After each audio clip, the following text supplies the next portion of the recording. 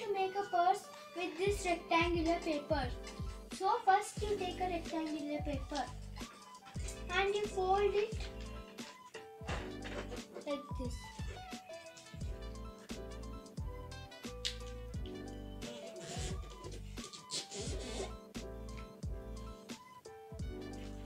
Do the same thing on the other side.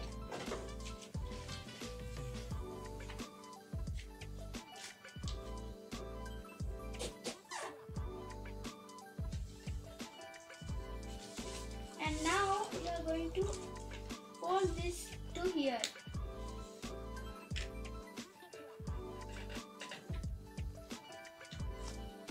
Do the same thing.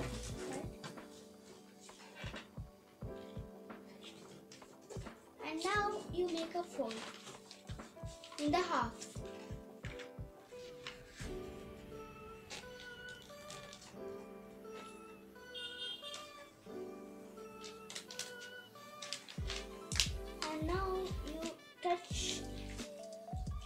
This one to the the edge of here it comes out a mark you press it near the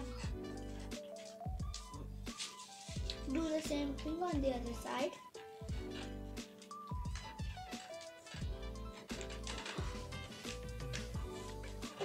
Now you turn now you turn the paper upside down should make it in half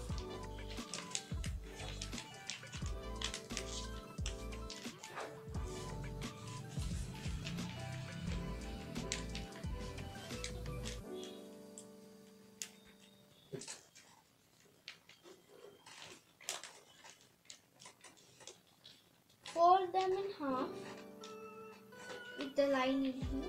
Do the same thing on the other side. You get a mark here. There, there you fold it.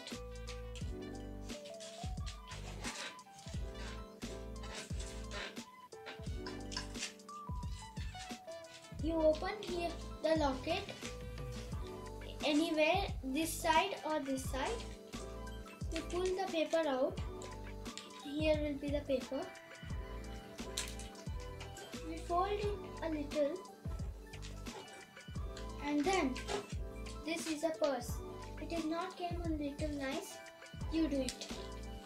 Thank you